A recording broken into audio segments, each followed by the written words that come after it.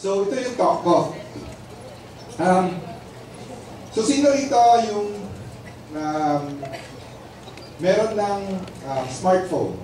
Sino rito may mga smartphone? Sino rito merong Android phone?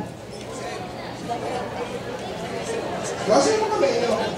Alam ko yun, nagugutom tayo, pero ilan dito may Android phone? Ayan. So, um, ilan dito yung may iPhone? Sino tingin niyo mas marami? Sino mas marami? Yung may iPhone o may Android na phone? Android.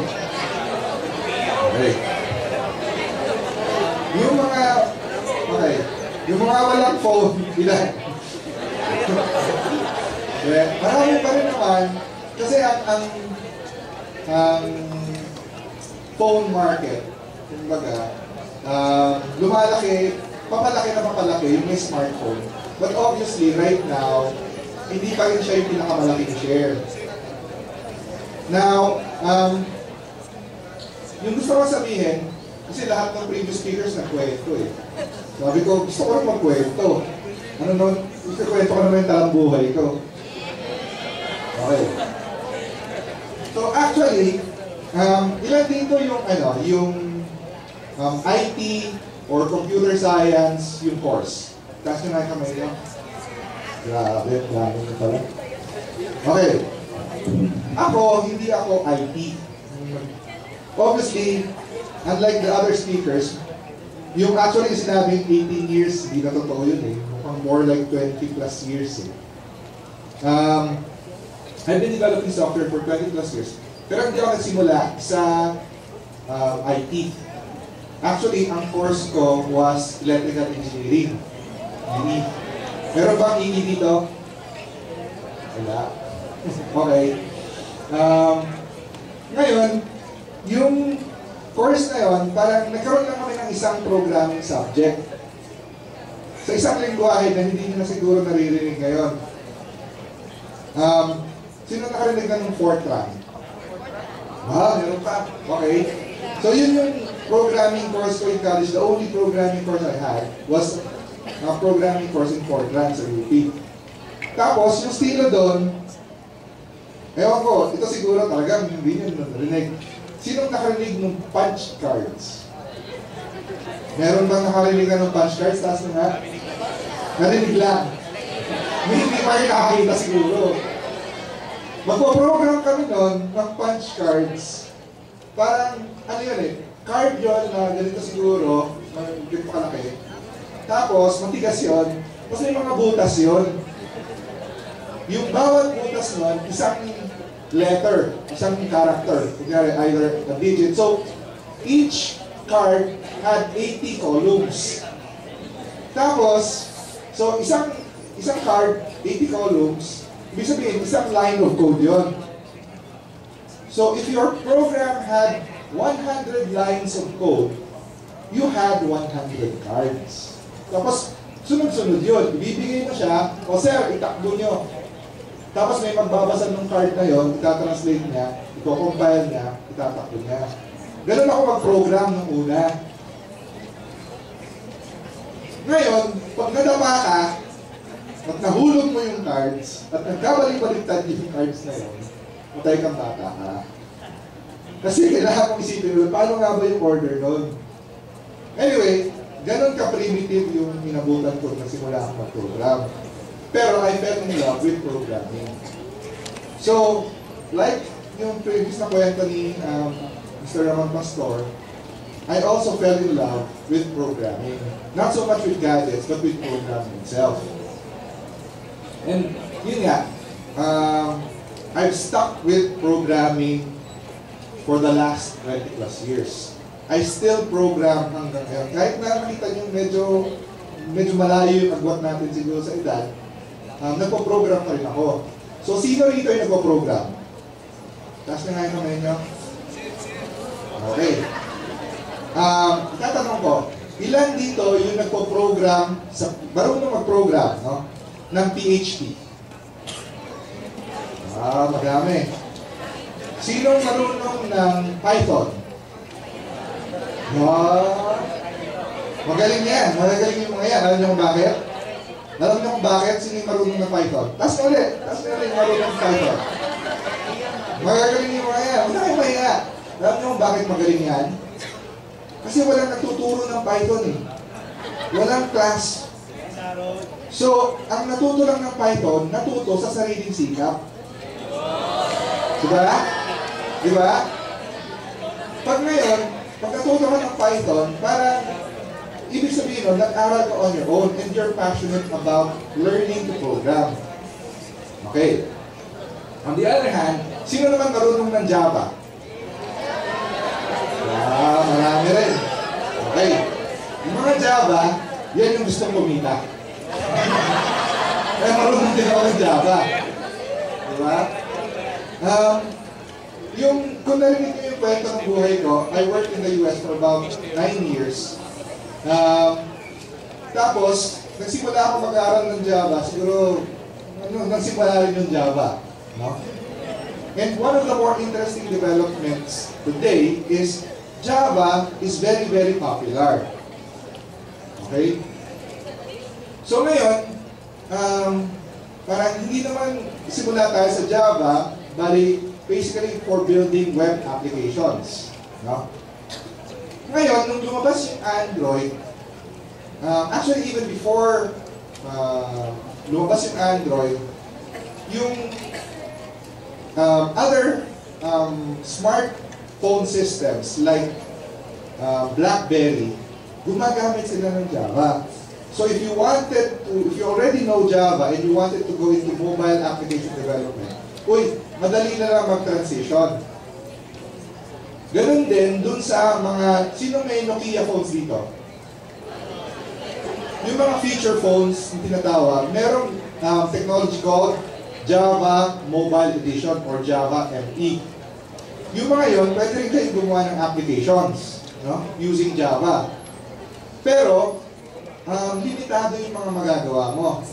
Um, with the advent of Android, actually, ang unang smartphone would be yung BlackBerry. No? Um, mas nagiging power, powerful yung mga applications. Tapos, nung lumabas yung iPhone, isang magandang konsepto yung dinagdag ng iPhone. Yung um, iTunes, yung app market, no? Wherein it's very easy for external developers to upload their apps and be used by a lot of people. Yun nga yung kwento kanina. Kwento na yung kanina ng, ano, ng previous speaker. So, wala na akong dagdag doon. Pero, ganun din yung in-adapt ng Android. Okay. So, simulan natin. What is Android? Actually, Android is not a phone. Android is an operating system no? for mobile devices. So, um, it's free and it's open source. Sino nakarinig na ng term na open source at naintindihan ko ng open source? Okay. 10 years ago, pag nagtanong ako noon sa mga estudyante, walang nakakalam ng open source. Buti naman marami na nakakalam nun. Kasi I've been an advocate for open source for a long time. Hindi ko na sasabihin ko ilan. Pero for a long, long time, no? Kung maganda yun, alam niyo na kung ano yung sabihin ng open source. The other is that it's also a platform, no? So, operating system siya, but it's also a platform where you can build your own mobile applications. It's also um, devices. So maraming phones, walang Android phone, but there are a lot of kinds of Android devices no? that the Android mobile operating systems. Ito yung mga um, Ericsson, meron tayong Samsung, meron tayong LG, meron tayong uh, yung HTC, no? meron yung Huawei, yung um, some uh, Chinese company rin, no? And it's not exactly owned by Google. It's actually developed by the Open Handset Alliance, a consortium of companies, no? Na ang leader nila, syempre, yung nagsimula ng Android, which is Google. Pero itong Open Handset Alliance is all these companies. So hindi lang Google yung nagrara ng, ng um, Android. kasama rito yung mga manufacturers, manufacturers like uh, yun, HTC, LG, Motorola, Samsung. No? Uh, you also have software companies, obviously Google, no? and a lot of other companies like Broadcom, Intel, Nvidia, mga hardware manufacturers. So, so lahat sila, they all are working towards enhancing and uh, improving yung Android operating system. Ngayon, ano yung pwede mong gawin sa Android? One way to think about it is uh, para siyang ano, para siyang isang bagay, no? Na suddenly uh, it can do a lot of things, no? If you think about the phone, uh, the, the phone can talk, no? You have applications that can talk back. Isa sa mga uh, capabilities ng Android phone is yung tinatawag nilang text-to-speech. So pwede siyang, pwede niyang basahin yung text mo and then i-read back to you. No? The other is that it can listen. No? One of the um, parang unique apps ng Android is called Shazam. No? Yung Shazam, ang gagawin mo sa kanya, iparinig mo yung piece of music, kunyari may tumutugtog sa, sa radyo. No? Iparinig mo sa kanya yung, yung music na yon, hahanapin niya sa internet, ano yung music na yon? Ano yung title and yung sino yung kumanta ng music na yon? So it can understand, no? it can listen. It can also perceive.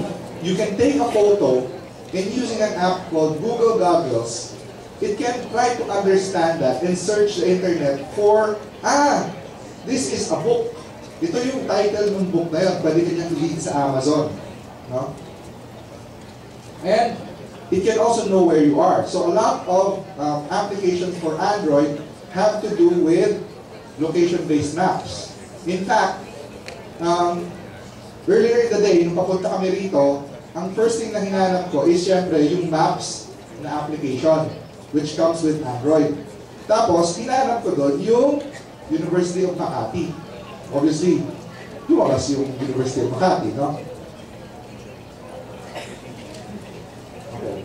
Ngayon, um, napag-usapan na natin, mobile application is good. Sabi ng previous speaker. Ngayon, ang tanong, bakit gusto kong develop for Android in particular? From a commercial perspective, madaling maging Android developer. No? Um, there's, unlike yung, ano, yung sa Apple, na meron ka pang, magre-register ka, even to become a free um, developer, meron silang free account. Sa Android, walang ganun-ganun. I-download mo lang, Android developer ka na. I-download mo yung SDK, you're already an Android developer. No? On the other hand, if you want to publish dun sa Android market, no, uh, instead of $99, ang babayaran mo lang $25. So, mas mura siya. Diba? Yeah. So, you can use yung Android market in the same way na yung sa app, sa iTunes, yung sa, um, you have the yung app market no, sa, ano, sa iPhone. Sa Android naman, we have something called Android Market for distribution. But you don't have to use this. In fact, um, since Android is open, no, hindi kagaya ng iPhone. Sa iPhone, saan kayo pwedeng bumili ng application? Kayo pwedeng mag-download ng applications. Doon sa Apple market lang, di ba? Doon sa Apple um, app market lang. Sa Android, meron tayong Android market, but it's not the only one offering Android apps. If you Google and go to the, ano, yung, yung sa internet, maraming markets ang Android. In fact, here in the Philippines, meron din yung Globe, nag-o-offer din sila ng sarili nilang applications. No? Smart will also be probably coming up with their own, yung sa net phone nila, meron din sila sariling set of applications. No? So hindi kailangan na uh, restricted ka to one place to get your applications. So medyo mas open ang Android. And it's easier to get applications approved, even on the Android market. No? It also gives you total control. No? Unlike sa iPhone, ang Android, parang kumbaga, bahala ka kung anong gusto mong gawin dyan. You have, because it's an open source project, people have created um, modifications to the basic Android uh, image and create their own versions and distribute it. So pwede kang gumawa ng sarili mong um, version ng Android. No? And this is what manufacturers do. They take the open source project, they then modify it to fit their devices. Okay. So for industry, they get an open source software. So yung mga kumpanya, meron silang uh, open source na software na pwede nilang gamitin. The source is available, ibig sabihin pwede nilang kalikutin after na handset, yung pag na-ship na yung mga handsets. Uh, anyone can build a system image. Now, one of the more popular system images na hindi official is known as CyanogenMod. Pag ginugol nyo yun, uy, pwede kong gamitin ito, replace it on my phone. Replace the original one with um, a modified version of Android on my phone. No? So may control kayo. Users have control. No? They control what gets installed. Walang magsasabi kung ano yung kailangan installed sa Android mo. Including yung original program. Kunyari, ang, ang Android comes with its own email, com, comes with its own browser, pero lahat yun, pwede mong palitan. So may control ka kung ano yung pwede mong gawin sa phone mo. They can choose what's the default. Developers, for us who plan to develop for the Android, we don't need permission. We don't need to ask Apple or Google or anybody, Oy, pwede bang gamitin itong app na to? I can give you my uh, application, put it up in a website, and then ask you, if you want to install this, you can, you can install it. Walang bawal. There are no hidden or privileged APIs. So, kung kunyari, your Android phone comes with its own look and feel. If you wanna create a program to replace that program, pwede mong palitan. Lahat pwede mong palitan sa Android. Even yung default na phone app niya, yung pantawag niya, pwede mong gumawa ng sarili mong phone app, palitan yung kung ano yung uh, parang what comes with Android by default. Pwede mong palitan lahat yun. So, you have great control no, over what you can do with Android to a larger extent than any other platform. Kasi, for example, sa BlackBerry, merong restrictions. Hindi mo pwedeng palitan ito, hindi mo pwedeng palitan ito. Sa, sa Apple, ganun din. No? Sa Android, kahit ano pwede mong gawin. Kaya for developers, it's a para bang open field. Merong disadvantages yon but parang, kumbaga, nasa iyo yun kung anong gusto mong gawin. And you can integrate uh, and extend and replace existing applications. In terms of um, yung mobile share, no? so share ng paggamit ng phones, um, as of July 2011, yun nga, 40% na yung smartphones. Of that 40%, iPhone consists of 28%, BlackBerry 19%, Android is already at 40%. This is in July 2011. Today, it's even growing faster. So lumalaki pa yung share ng Android. Yung Windows Mobile, medyo bagong lumabas yun, pero they're trying to take up market share, pero medyo nahihirapan sila. Yung growth ng Android is virtually certain na eh, na papalaki ng papalaki yung, yung gumagamit ng Android. Tapos, ito pa yung indicators na people who want to, what's your, parang kung tinanong sila, ano yung gusto mo